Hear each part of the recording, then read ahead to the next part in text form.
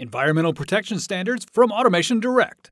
When you are designing or implementing a system that includes electrical or electronic components, you don't want to rely on vague marketing terms different manufacturers may use. Phrases like dustproof or water resistant just don't give you enough information when you're deciding how much environmental protection your application may need. The International Electrotechnical Commission's Ingress Protection Classification System provides a much more certain and globally recognized specification. Ingress protection, IP ratings, are composed of two digits, the first denoting ingress protection versus solid objects, the second versus liquids. The higher the number, the higher the degree of protection. A zero means no protection. On the solid side, ratings above zero range from 1 to 6. The higher the number, the higher the degree of protection.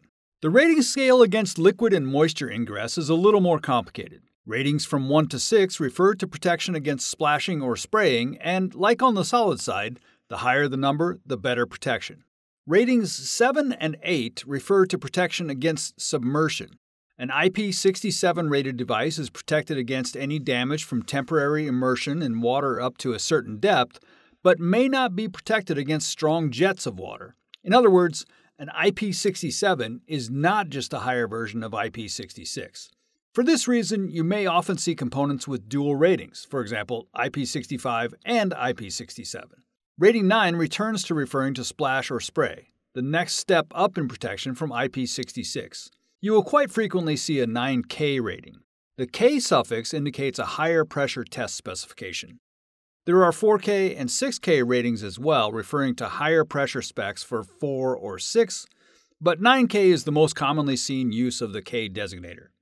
IP69K is considered the highest ingress protection rating a component can receive, and is often required in industries such as food processing, where frequent washdowns or steam cleanings are needed. Note that IP ratings refer specifically to ingress protection and say nothing about a device's vulnerability against temperature extremes, humidity, or corrosion, for instance. Another thing to look out for is that some devices carry provisional IP ratings. This IO-Link Master, for instance, is rated IP67 as long as all of its M12 ports are either connected to an IP67 rated cable or capped off with an appropriate port plug.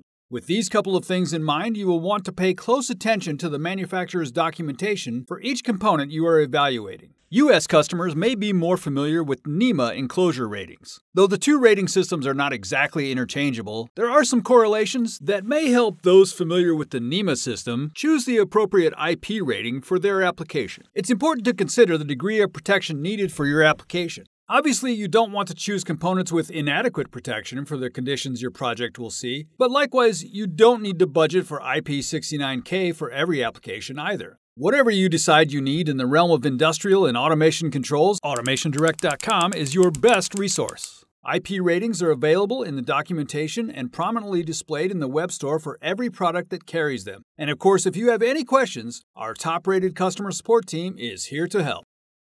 Click here to see more videos from AutomationDirect.com. Click here to subscribe to Automation Direct's YouTube channel.